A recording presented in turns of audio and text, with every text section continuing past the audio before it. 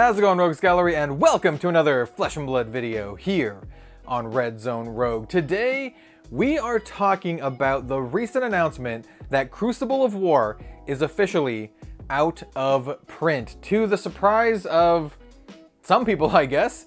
Um, it's a little bit surprising to me that it was Crucible of War, but not surprising to me at all that a set is out of print. So we're going to talk about that.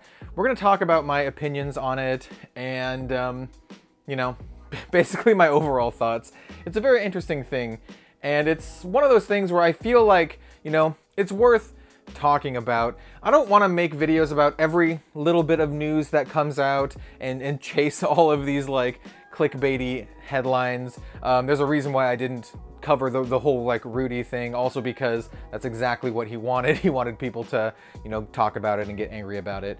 But um, I think this one is worth talking about and worth discussing. I'm not saying that the Rudy thing wasn't worth talking about. I'm just saying that that was his goal. He just wanted everyone to talk about it. So let's talk about the out of print Crucible of War. Am I surprised that a set went out of print? No, not at all. I've never believed that Unlimited was actually unlimited. Um, it, that's just because of logistical reasons, right? There are only a finite number of sets they can have in print because one, Legend Story Studios is an indie company. They are not Hasbro. They are a smaller indie company, even though Flesh and Blood is successful. It's very, very unfeasible to have like, you know, 15 sets in print. You know, we're gonna have like 15 sets eventually, right? And do you really think that they're gonna have 15 sets in print and shipping out all of these things? Keep in mind that they don't just print like, you know, a couple booster boxes, couple hundred booster boxes. They make these orders in massive, massive bulk quantities. Talk to anyone who's had any dealings with Cartamundi. The more you make, the less it costs to actively make that. And so a lot of these companies just make absolutely massive bulk orders of their stuff and you're not gonna be able to do that with like 15 sets, right? And no one's gonna wanna buy that much, you know, you know, in like two years, who's gonna wanna buy like a ton of Arcane Rising or whatever, even if like one of the cards, Command and Conquer, is like still heavily played, and I'm pretty sure it will be, like, I don't see just all of these sets selling like a ton in like two years. So that is just something that was never a thing for me. I never thought that they would just have unlimited, literally unlimited, right? I knew that they would eventually go out of print, and it's something that James has actually talked about. James White, the creator of Flesh and Blood, the CEO of Legend Story Studios, I'm pretty sure he talked about this in an interview with Team Covenant. They talked about this, and he did say that sets would eventually go out of print. So this should not be news to people. Um, and he also said that they are very willing to reprint cards to help sustain the market and sustain new players into the game. So I'm to say that I do believe there are to be some immediate ramifications. I've already seen a lot of negative negativity. People are saying the game is now way too expensive. I mean, come on. Yes, Crucible of War will go up in price. The singles will go up in price, and they will probably be way too expensive, to be honest. But Welcome to Rathe is still really cheap right now.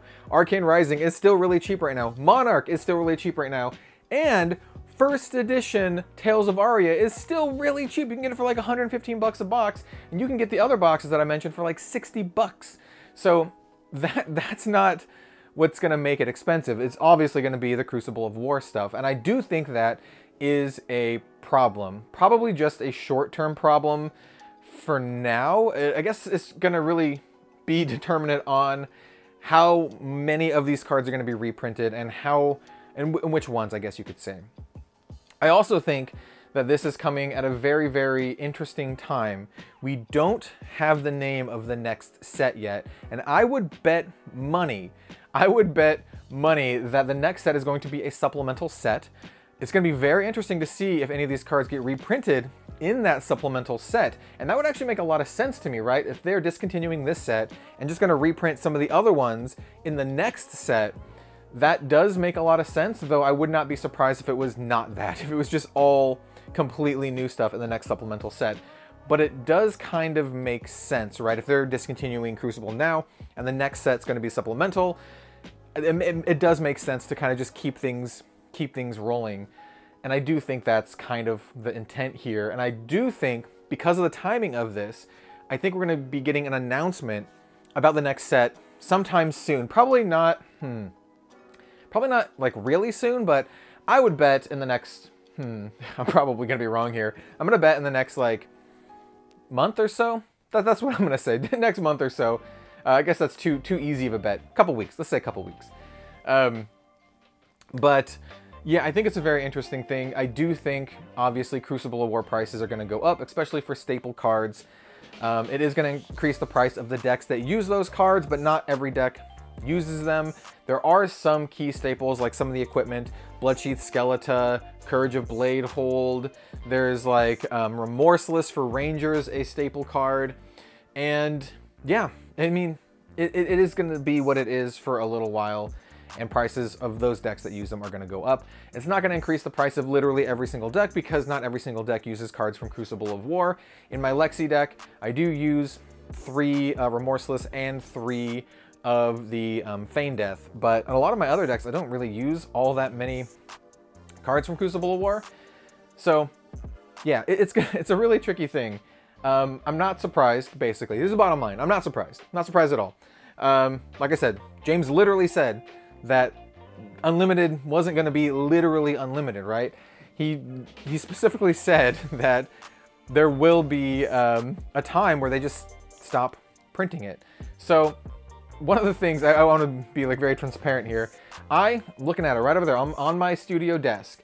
I have five boxes of Welcome to Rathe, three of Arcane Rising. I had four. I opened it on what opened up one of them for the uh, for the um, two-year anniversary event, and I have four boxes of Monarch me as a player and as kind of a collector, I want to have just boxes available so I can do stuff with them, right? As a content creator, if I want to like crack open a box for whatever reason, I have them available. Or better yet, if I can have friends over to play Flesh and Blood to draft stuff, I want to have that available. I didn't say I had any Crucible of War, which is kind of a bummer because I was really considering buying some in the last couple days. And well, now it's really expensive. I would recommend if you can get some, you should probably pick them up. Um, yeah, uh, Channel Fireball is basically cleaned out. I actually bought six boxes today um, for $90 after I saw this announcement, and I was like, oh, dude, I need to get some just to have, you know, just to have some in case I want to use it for the channel or for, for whatever, and now is probably the best time. So with that said, if you like any of the old sets, if you like Welcome to Rathe, if you like Arcane Rising, it might be a good time to pick them up, especially if you can get them for cheap, because they're not going to be around forever. Um, and you might regret just not having them in the future. The way I think about it, you know, is what I regret, do, do, I want this in the future, right? Is this something that I want in the future or I will want, and can I afford it now? And if I can, and I do want it, then might as well just, might as well just get it, right? For me, I am a collector of flesh and blood. I like my cold foils, but I'm not an investor in Flesh and Blood. I never buy anything with the intent of selling it at a profit. I want the things to have because I like the things. And this is how I, this is my mindset with a lot of the, the card games that I play. You know, I buy them because I like them and just so happens a lot of the stuff that I like becomes very expensive because either they're very good or very rare. And um, yeah, for, as a collector, I don't know. I don't know. I'd, I'd rather have, hmm, this is a really tricky situation. I was gonna say I'd rather have players the ability to just have all the cards, but that's part of being a trading card game, right? There, there's gonna be a point where you just can't buy all the cards for super cheap. That's just part of being a trading card game. I really hope, one of my real, one of my big hopes here is that we do see more reprints in future sets. I would like to see the reprints kind of scattered in. I think that would be kind of cool is if we kind of like peppered them into sets. Like, um, say, for example, the next set has Wizard, right? And then we see some of the cool Wizard cards from Crucible of War. Maybe like one or two of them. Not a lot of them, but maybe like one or two of the Majestics or something like that. I think that could be cool, like just to kind of pepper them in a little bit. Maybe just like one, not not not too many of them, because you still want the new sets to feel very new, right? And that's that's a tricky thing with this kind of stuff. I don't I don't think they should reprint too many of them into new sets because new sets should definitely stand out, right? And they should be their own thing without being uh, resting on the laurels of other sets. But I think you can still pepper some cool stuff in to every, you know, every every couple sets or so. Other games do this too. You know, Magic does this. They put reprints in every now and then. They typically don't put a lot of high value reprints in. Usually Magic reprints are like, we printed giant spider again or whatever, right? It's not like they're like, here's uh, here's some more fetch lands. That's that's a very rare occasion for Magic. But we've seen them put the Tunic in Crucible of War. We probably won't see the Tunic for a while, if I had to guess. Maybe a reprint of the Arcanite Skullcap? Hmm, maybe. But man, you know, one thing, one thing that is very interesting though, is um, it just it just occurred to me. Um, Fabled cards, right? Fabled cards are interesting because they're not usually required in your deck for it to be a top tier competitive deck. There are some decks that obviously run some, like the Great Library of Solana, and you know some decks get a little bit of benefit out of them. Like I know Bravo, I've seen some Bravo players play with Heart of Fyendal. Um, Eye of Ophidia is fantastic in Wizard, and obviously the Arcanite Shard is a Viserai specialization, so that one's very specific to a hero. But I don't know if they will reprint Fabled. If you know, and they've said something, because I don't remember if they have or not, or if this is just something that people have said, um, but without, without confirmation, if they will reprint Fabled cards in future sets. I have a feeling that they won't.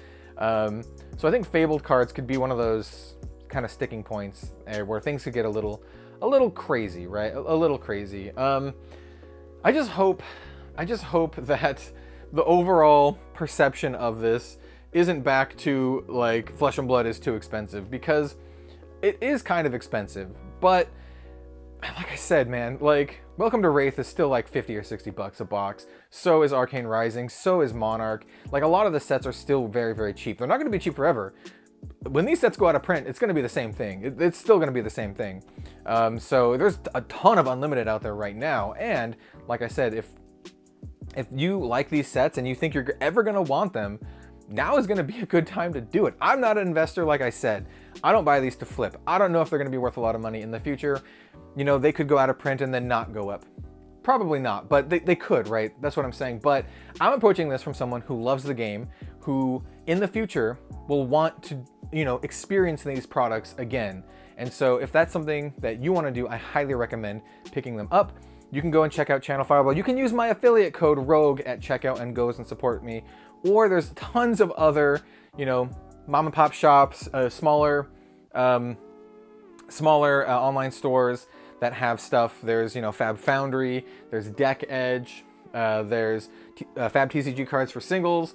Like, go out there and, you know, support some of these folks and, um, you know, pick some stuff up if you've just kind of been waiting on it because I think this is going to give a lot of people a kick in the pants. Maybe maybe wait a little bit because there might be a little bit of FOMO initially. Once again, not an investor.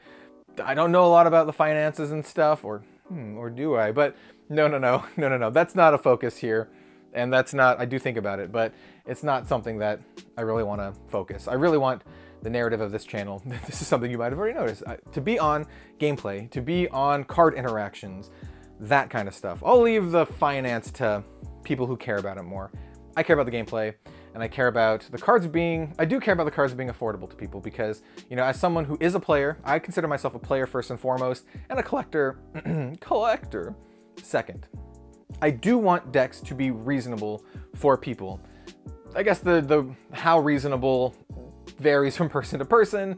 Me, someone who's coming from Magic, you know, reasonable for a top tier deck is like a couple hundred bucks. And, you know, for Flesh and Blood, that's definitely attainable it's going to be more expensive now for sure. Um, but once you've acquired some of those key legendaries, the making new decks is actually not very expensive at all. Like once you have like a tunic and like a skull cap, like getting other stuff isn't really that expensive. There is some, you know, other legendaries if you really need like a cold foil or whatever can get expensive.